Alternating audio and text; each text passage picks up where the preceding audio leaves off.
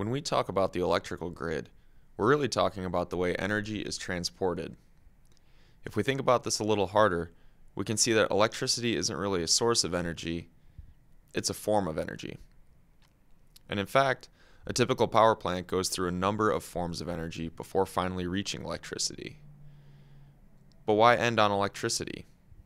Well, mainly because it's just convenient.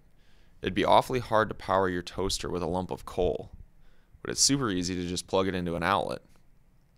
And in order to have that convenience, we've built a grid that allows us to source our energy at a power plant far away and send it to our homes along a series of transmission lines. There are some problems with that grid though, and it's starting to look like a pair of platform shoes. Outdated. One, it's too centralized. Energy comes from a large power plant and flows one direction until it reaches the consumer. If a natural disaster were to disrupt part of the distribution chain, this could lead to major power outages. Two, it's very inefficient. Because the power plant is so far from the consumer, the energy lost at each step of the process is wasted. 60% of the power plant's energy is lost in waste heat right off the bat, and by the time the electricity reaches the consumer, it is only 33% of the energy that was originally produced.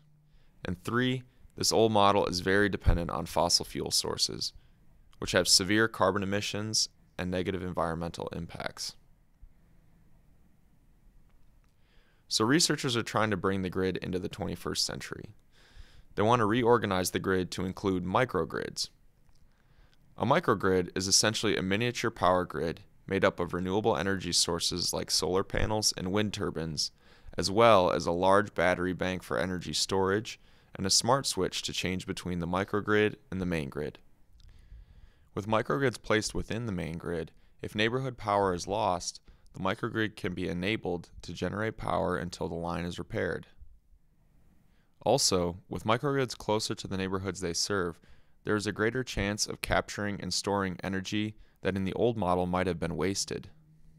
Microgrids are also able to generate more of their power renewably, using small wind turbine and solar panel banks, which means less coal and less carbon dioxide.